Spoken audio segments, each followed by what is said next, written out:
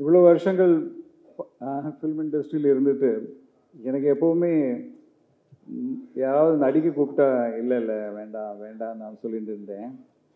ஏன்னா சின்ன வயசில் when I was looking better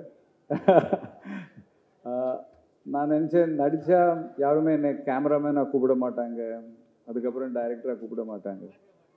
but இது ஆக்சுவலி வெற்றியோட கான்ஃபிடென்ஸ் தான் நான் அந்த படத்துக்கு ஒத்துக்கிட்டேன். பிகாஸ் எனக்கு நடிக்க தெரியாது.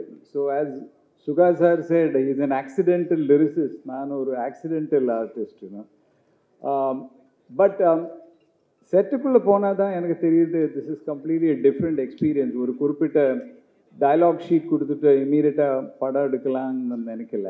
மூணு வருஷமாக ஒரு ஒரு உண்மையை தேடி அவர் அவரோட பயணம். அண்ட் ஒரு லெவலில் எல்லா படமும் ஒரு பயணம் ரொம்ப கஷ்டப்படுவாங்க எல்லாரும் பண்ணுவாங்க. பட் இவர் மவுண்டனியரிங் பண்ணுறாரு ஐ மீன் ஒரு மாதிரி trekking you know up the thing because அந்த சிகரத்தை நோக்கி போகிறாரு அதில் என்ன ரூட் இருக்குன்னு தெரியாது அவர். ஒவ்வொரு வாட்டி ஒரு புது ரூட் பிடிக்கிறாரு. அந்த ரூட்டில் போகும்போது பல கஷ்டங்கள் உண்டு. ஒரு சீன் எடுத்துகிட்டே இருப்போம். திடீர்னு பார்த்தா இது இது போர் அடிக்கிறது.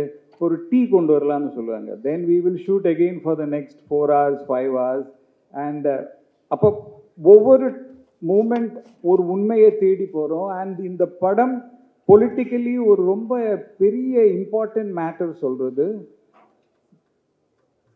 தட் வரலாறுங்கிற விஷயம் எழுதப்படுறது.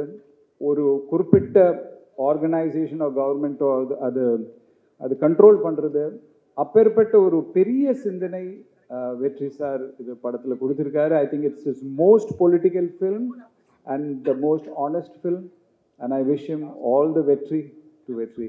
And all every the.